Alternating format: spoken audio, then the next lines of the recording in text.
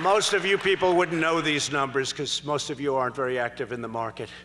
But since my election, the S&P 500 is up over 45%, the Dow Jones is up over 50%, and the Nasdaq is up 60%, slightly more.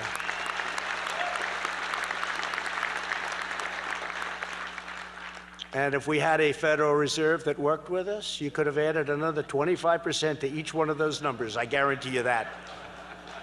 That doesn't happen. But we all make mistakes, don't we? Not too often. We do make them on occasion. American markets have vastly outpaced the rest of the world. This exceptional growth is boosting 401ks, pensions, and college savings accounts for millions and millions of hardworking families.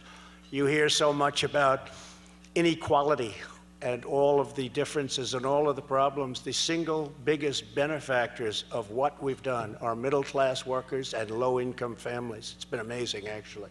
Altogether, we've added nearly $10 trillion of new value to our economy. That's in a short period of time.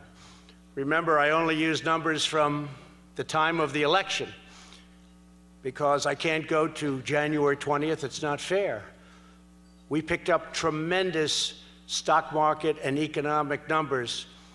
They actually went wild the day after I won. I think that should be attributed to us, not attributed to somebody else, because it would have gone in the opposite direction. It would have gone in the opposite direction had the other result taken place, which fortunately it didn't. Last year,